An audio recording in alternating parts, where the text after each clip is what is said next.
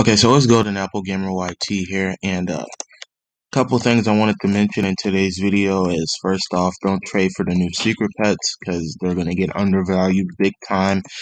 Because if you go back into my trade history, you probably saw it at the start of the video, but I traded this for the Dreamcatcher, Diamond Overlord, and three shinies to, together at the time. What I thought was like 650 for four um 435 is actually like 250 for 435 actually.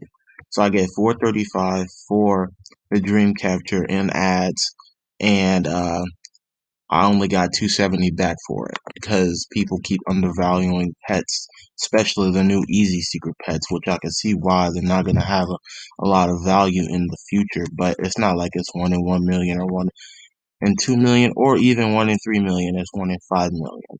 And I'm probably not going to be using Collab's value list anymore. I don't know. Still debating over that because every time I use his value list, I always get a whole bunch of L's.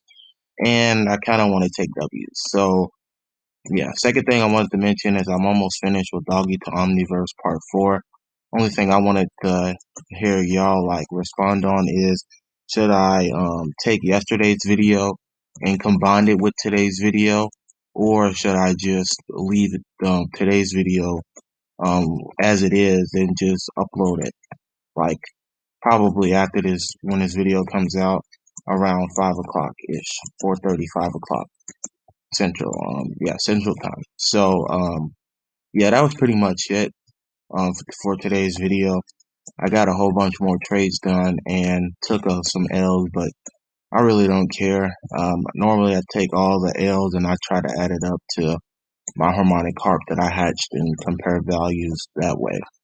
So I take my L's and then I just subtract off of the value I got by hatching secret pets.